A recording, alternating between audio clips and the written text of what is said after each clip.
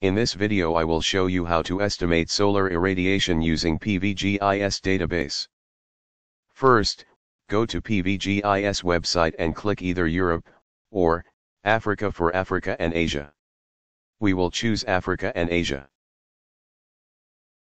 You can either search for a location or key in latitude and longitude.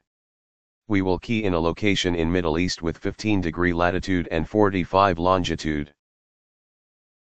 In PV Estimation tab, you can assess the performance of grid-connected system. You can specify system losses, tilt angle, orientation, and choose tracking options. In Monthly Radiation tab, you can get estimated monthly solar irradiation. Similarly, you can get daily irradiation from Daily Radiation tab.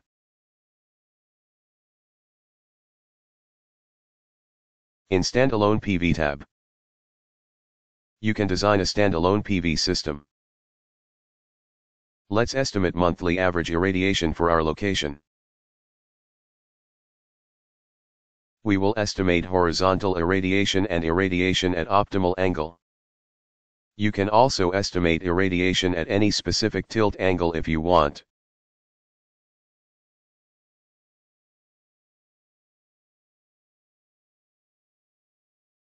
This window show us the results we can see optimal tilt angle for this location.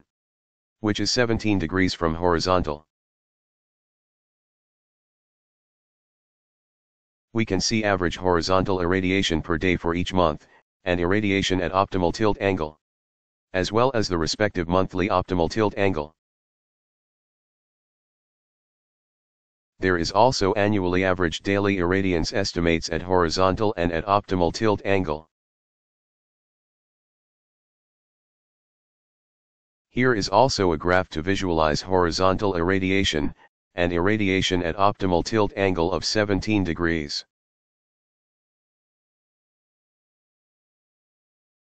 Another graph shows how optimal tilt angle changes throughout the year.